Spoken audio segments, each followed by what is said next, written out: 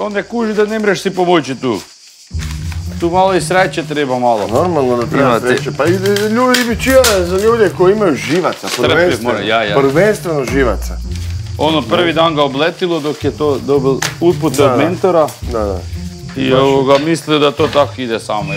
A rekao mu je mentor, boš vidjel, jedan dan ide, drugi dan ne ide i tako. Da. To je normalno. A to je baš to, ja ne mogu shvatiti da on može uopće šepcirati.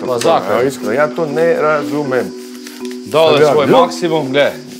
Da, I to je okej, pa ne mreš bolje, ne? ne možeš, da. Ako riba neće, neće. Možeš se fučiti. I onda se još posvadi bez veze. Kaj se imaš svaditi?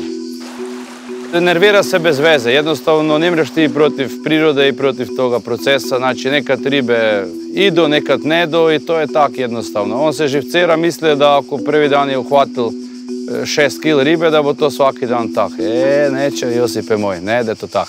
Čekaj, i ovo moramo strgati još. još. Daj mi, mogu ja i sam držati. Ne Ne da. pronalazim više načina, majke mi. To je jedan od zadataka koji nam može upropasti cijeli budžet. Ostali zadaci su skoro pri kraju, neki su čak i gotovi kao njihova pušnica, tako da ovaj, sve ovisi o meni da li ćemo proći zadatak ili ne. Ovo mi je zadnji pokušaj, ja nakon ovog više nemam ideja. Probat ću napraviti onaj... Je neka tržnica blizu da odemo? Je, A? da, je, da. Kupit neki. Dobro, sad radiš ove, kaj? Jožo, Hraniljac. Jožo! Sin gledaj. Imamo jedan utek samo. Smiješak vam na daj malo. A je, je. Ne, ej, ozbiljno ti govorim. Jožek, Jožek. E. Još ga drži, ti meni ga Možda im ne paše meni, možda je kaj danas? Petak, kaj ribe jedu Pust, petkom? pust, pust. Da.